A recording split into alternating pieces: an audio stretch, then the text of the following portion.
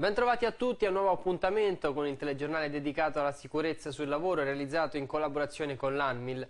In apertura purtroppo parliamo ancora di morti bianche perché sono state nove le persone che la scorsa settimana hanno perso la vita sul lavoro, tre lavoratori nel settore agricolo. La principale causa dei decessi è stato lo schiacciamento in quattro casi, seguito dalla caduta dall'alto in tre casi. Il più giovane a morire aveva soltanto 19 anni mentre l'età media delle vittime è stata di 43 anni. Le regioni più colpite sono state la Sicilia con tre morti, l'Abruzzo e il Veneto con due ciascuna.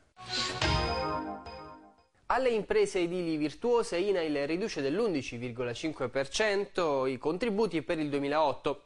L'incentivo per far rispettare la sicurezza sul lavoro prevede uno sconto che si applica agli operai edili con un orario di lavoro di 40 ore settimanali e ai soci di cooperative di produzione e lavoro che svolgono lavorazioni in edilizia. La riduzione interessa soltanto la rata di regolazione del 2008 del premio infortuni. Per accedere al beneficio, le imprese devono presentare due autocertificazioni, la prima all'INAIL entro il 16 febbraio e la seconda alla Direzione Provinciale del Lavoro entro il 30 aprile. Per ulteriori informazioni basta collegarsi al sito www.inail.it. Sono stati scoperti in Toscana nel 2008 dagli ispettori del lavoro più di 8.000 lavoratori irregolari, di cui 4.000 in nero. Il bilancio dei controlli della Direzione regionale del lavoro di 7.259 aziende irregolari su 12.574 e di 25.700.000 euro di contributi non versati recuperati, in aumento rispetto ai 18.100.000 euro del 2007. Lo scorso anno, ha dichiarato il direttore della Direzione regionale del lavoro, Salvatore Fedele, abbiamo registrato un aumento del lavoro nero, ma questo non significa che il fenomeno sia effettivamente cresciuto. Più verosimilmente abbiamo mirato meglio la nostra azione ispettiva. Il settore con maggiori irregolarità è stato quello edile. I controlli hanno interessato 3.275 aziende e 1.666 cantieri, eh, riscontrando irregolarità in 1.840 imprese ed elevando sanzioni amministrative per 3,4 milioni di euro e sanzioni penali per 2,5 1,7 milioni di euro. Dalla Francia arriva il viaggio virtuale in fabbrica, la scoperta dei rischi sul lavoro e delle misure per la prevenzione.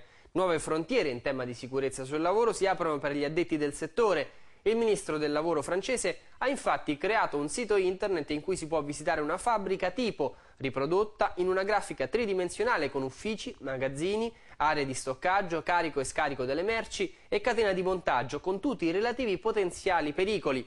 Il sito, pensato in maniera specifica per il personale e gli imprenditori delle piccole e medie imprese, mette a disposizione dei navigatori un ricco patrimonio di informazioni sulla sicurezza sul lavoro e la prevenzione degli incidenti. Nell'area della catena di montaggio vengono riprodotte le singole mansioni con tutti gli elementi che possono originare un infortunio, mentre in un'altra schermata vengono mostrate le stesse operazioni eseguite in modo virtuoso, elencando le norme di sicurezza da rispettare dalle apparecchiature di cui deve essere dotata l'azienda alle strumentazioni per il lavoratore, al loro corretto utilizzo. Il portale mette a disposizione anche leggi, dati, dossier ed esempi concreti di buone prassi messe in atto da alcune imprese francesi.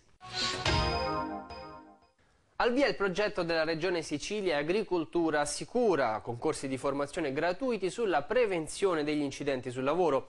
Il piano si rivolge agli imprenditori e a tutti i soggetti che hanno un ruolo in materia di sicurezza nelle aziende.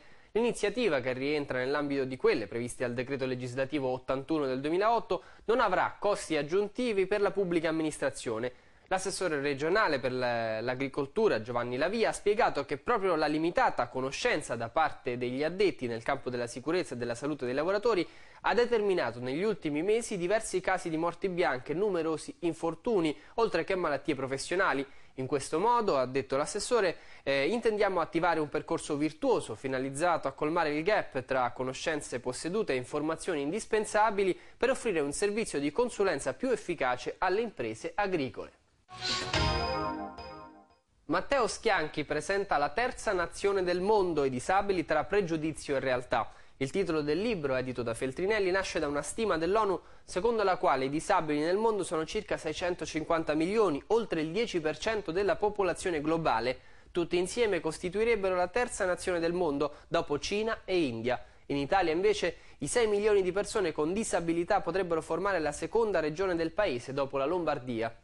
Secondo Schianchi ogni anno si verificano in Italia 20.000 incidenti stradali e 20-30.000 infortuni sul lavoro con effetti invalidanti, mentre 1.800 persone si ammalano di distrofia muscolare, ma l'autore ha sottolineato che il vero problema è che la maggior parte delle persone con handicap continua a essere esclusa dalla società e ha meno possibilità di inserimento.